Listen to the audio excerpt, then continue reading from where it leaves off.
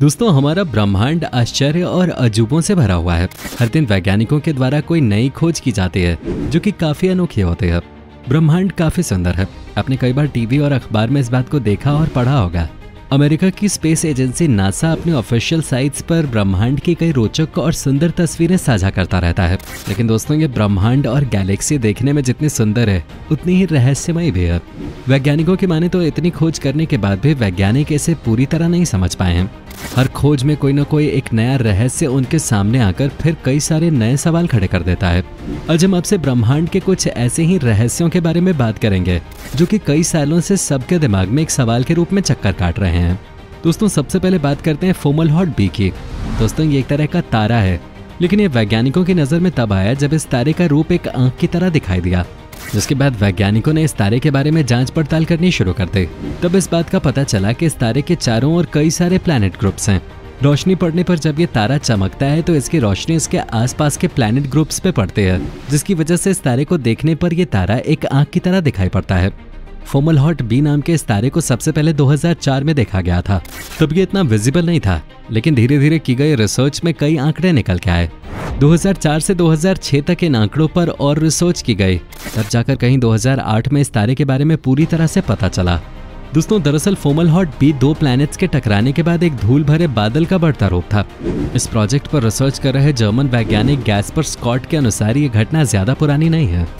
सन 2014 में वैज्ञानिकों के अनुसार ये फोमल हॉट बी धीरे धीरे गायब हो रहा है और वो दिन दूर नहीं, जब ये पूरी तरह से गायब हो जाएगा। दोस्तों, अब बात करते हैं ग्रेट अट्रैक्टर के।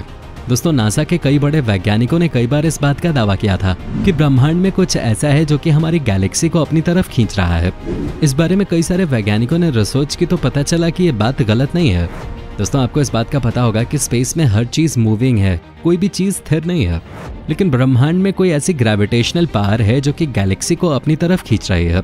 और इसीलिए कई वैज्ञानिक इस ग्रेट अट्रैक्टर को ब्लैक होल का ही पार्ट बता रहे हैं क्योंकि ब्लैक होल अपनी तरफ़ आने वाली हर लाइट को सोख लेता है।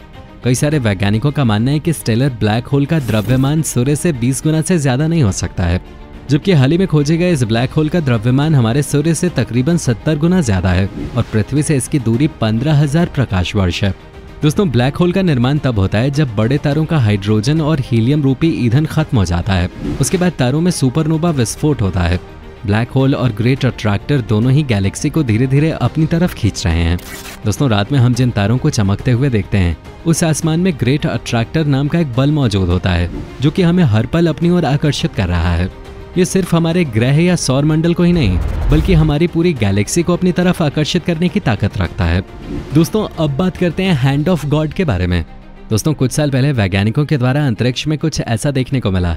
जिसे देखने के बाद कुछ पल तक वैज्ञानिकों को तो समझ नहीं आया कि आखिर यह है क्या। जी हाँ दोस्तों, उस समय वैज्ञानिकों ने देखा कि पृथ्वी से करीब सत्रह हज़ार प्रकाश वर्ष की दूरी पर एक काफ़ी बड़ा हाथ है, जिसे देखने पर ऐसा प्रतीत हो रहा था कि वो हाथ किसी बड़ी चीज़ को आशीर्वाद दे रहा हो। ये सुनने में थोड़ा अजीब लग रहा होगा, पर यह बात बिल्कुल सच है। इसे आप अपनी स्क्रीन पे भी देख सकते हैं। दोस्तों, वैज्ञानिकों ने जब इस पर रिसर्च करनी शुरू की तो पता चला कि ये एक एनर्जी नेब्यूला है, जो कि एक रिच गोल्ड की तरह दिखता है और देखने में काफ़ी आकर्षक है। और ये अंतरिक्ष में तारा टूटने के बाद बचा हुआ पल्सर है, इसे P S R B one five zero nine five eight के नाम से जाना जाता है। दोस्तों, दरअसल होता यह है कि जब कोई तारा किसी बड़े पिंड से टकराता है तो एक बड़ा विस्फोट होता है। विस्फोट होने के बाद उसके पल्सर उसके पीछे रह जाते हैं और वो अलग अलग तरह की आकृति बनाते हैं। इस पल्सर का व्यास लगभग 19 किलोमीटर है जो कि हर सेकेंड सात बार घूम रहा है। साथ ही पृथ्वी से इसकी दूरी करीब 17,000 प्रकाश वर्ष है। अंतरिक्ष में यह आकृति करीब 33 लाइट ईयर क्षेत्र में फैली हुई है। वैज्ञानिकों का मानना है कि सुपरनोवा विस्फोट के बाद करीब 1700 साल पहले इस नेब्यूला की लाइट पृथ्वी पर पहुँचे थे। नासा की ओर से इस बारे में करीब 15 साल पहले स्टडी शुरू की गई और तब से लगातार इसकी इमेजेस जारी की जाती रही हैं। पिछली तस्वीरों से साफ़ है कि नेबुला के बादलों का घनत्व लगातार कम हो रहा है। जिसकी वजह से ये आकृति धुंधली होती जा रही है। दोस्तों, जब नासा ने इस इमेज को पहली बार अपने इंस्टाग्राम अकाउंट पे शेयर किया था तो लोगों ने इसे साक्षात भगवान का रूप बताया था और तभी से ये तारा सुर्खियों में आया था। दोस्तों, अब बात करते हैं 1991 वीजी एस्ट्रॉइड के।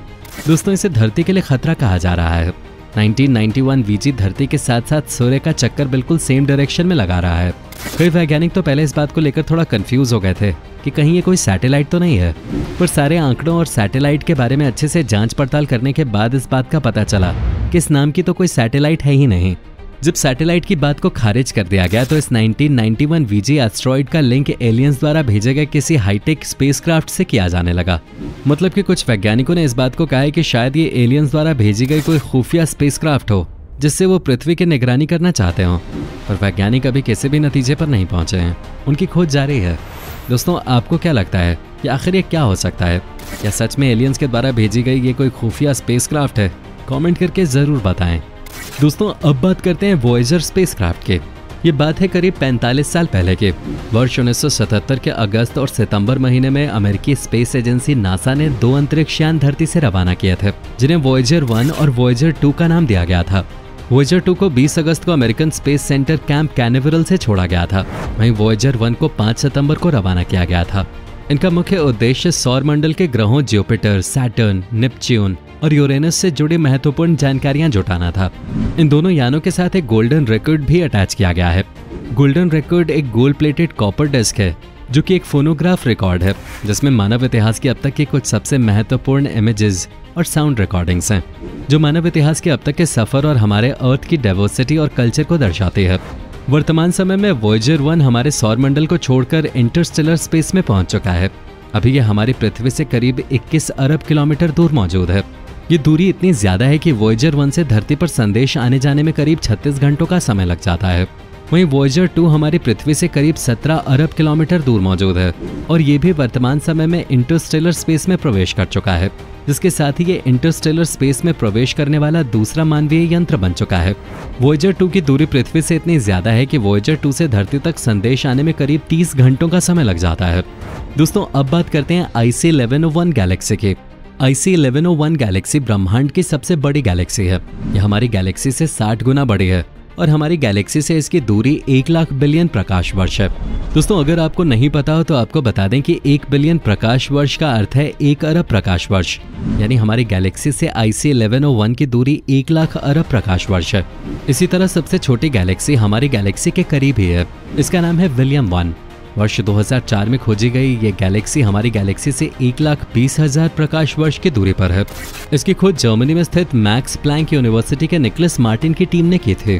दोस्तों, गैलेक्सी के बारे में कहा गया है कि गैलेक्सी 1950 के दशक में सामने आए सिद्धांत को महाविस्फोट का सिद्धांत, यानी कि द बिग बैंग थ्योरी कहा गया। इस सिद्धांत के तहत माना गया कि ब्रह्मांड की उत्पत्ति एक महाविस्फोट से हुई है। जो कि काफ़ी हद तक सही भी है, और हम बचपन से यही पढ़ते भी आ रहे हैं। और ये सिद्धांत गैलेक्सीज के प्रकाश में पाए जाने वाले डॉपलर प्रभाव पर आधारित था। लेकिन कुछ वैज्ञानिक ये भी मानते हैं कि गैलेक्सी की उत्पत्ति का कारण केवल यही सिद्धांत नहीं है। वैसे तो गैलेक्सीज एक दूसरे से हज़ारों लाखों प्रकाश वर्ष की दूरी पर हैं, फिर भी वो कई बार टकरा जाते हैं। अमेरिकी वैज्ञानिकों की टीम ने पता लगाया कि टकराव की वजह से कई बार उन गैलेक्सीज में सितारों का निर्माण रुक जाता है। अमेरिकी प्रोफेसर जेफरी केनी और उनकी टीम ने बताया कि एम और एन जी सी गैलेक्सीज के बीच हुई टक्कर ने उनमें तारों के निर्माण को रोक दिया था। इससे वैज्ञानिकों ने अनुमान लगाया कि इनके बीच टक्कर काफ़ी जोरदार रही होगी। तो दोस्तों, ये है ब्रह्मांड में पाई जाने वाली सबसे अनोखी चीज़ें। उम्मीद करते हैं इन पर हमारी ये पेशकश आपको पसंद आई होगी। अगर हाँ तो वीडियो को लाइक करके अपने दोस्तों के साथ शेयर करना ना भूलें। और ऐसी इंटरेस्टिंग और यूजफुल वीडियोस के लिए इस चैनल को सब्सक्राइब करके बेल नोटिफिकेशन को भी ज़रूर ऑन कर लें। धन्यवाद।